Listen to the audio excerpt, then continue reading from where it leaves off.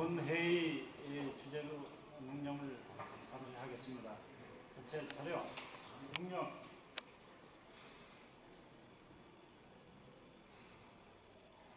바로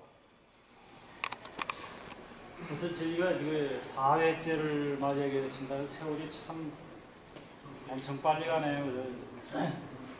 그래가지고 지금 인원이 처음에 16명으로 시작해가지고 두 명이 올해 또 입회를 해가지고 지금 17명이 되어 있습니다. 그 중간에 한 분이 다른 일로 해가지고 빠져가지고 그래 하는데 에,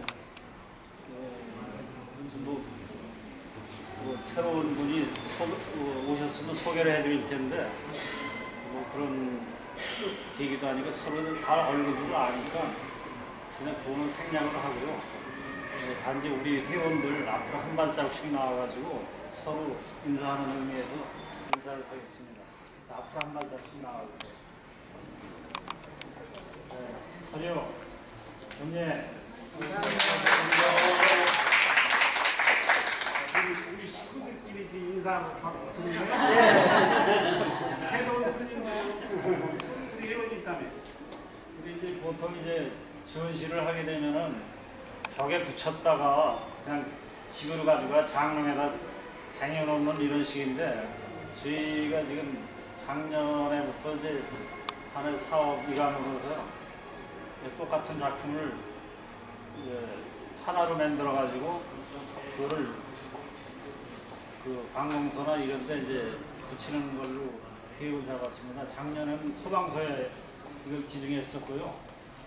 올해는 저 소신여각 앞에 새마을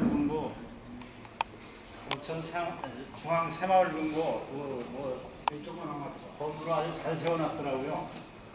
거기다 이걸 기증하기로 되어 있습니다. 오늘 그 거기 계신 이사장께서 오신다고 했는데 아직 안 오시는 건지 아직 오- 오고 계시는 건지 모르겠는데 이렇게 작품 저희가 준비를 해서 그 벽에다 걸어놓고 나중에 지나가면 한 번씩 볼 수 있게끔 이렇게 예, 준비를 했습니다.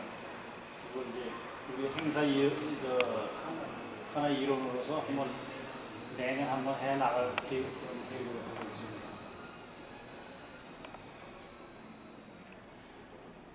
그 우리 이 새로 입회한 분 소개를 하려고 했더니 또 바쁘시다고 안 하셨네요. 그리고 다른 말씀 뭐 없고요. 아무도 축하의 말씀. 저기 지부장님께서 한번 갖다 축하의 말씀 한번 해주시죠. 아, 단골로 해- 해서 부탁드리기도 미안한데. 네, 사회 부처한국협회 회원전을 축하드려요. 어, 옛날에는 그랬죠. 60년대 뭐 후반까지만 동양학과라고 그랬었는데 그 이후로 대한민국의 좀 정체성을 살려보자라는 취지로 해서 한국학과로 이렇게 개명이 많이 된 것 같습니다.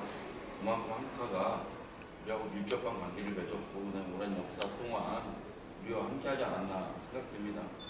오려나 뭐 신라시대로 벽화 그림 이야 그 약간 좀 서양한 냄새도 나기도 하면서 냄새 했는데 고려 불화로 시작해서 조선시대의 어떤 많은 풍속화들 그다음에 뭐 진경상수화라고 하는 어떤 그런 걸 통해서 나름 한국화의 어떤 역사나 전통이 뿌리 내렸다고 봅니다.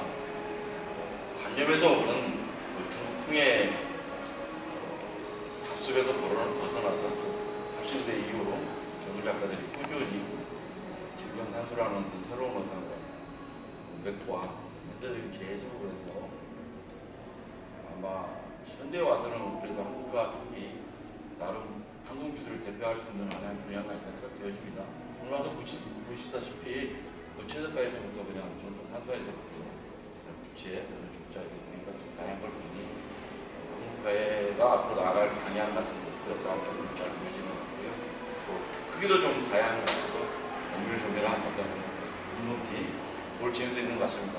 어, 참여한 회원들, 회원님들 축하드리고요. 협회를 이끌어 나가시는 백교 회장님 수고하셨습니다. 아, 5회 때는 더 번창하시 네, 감사합니다.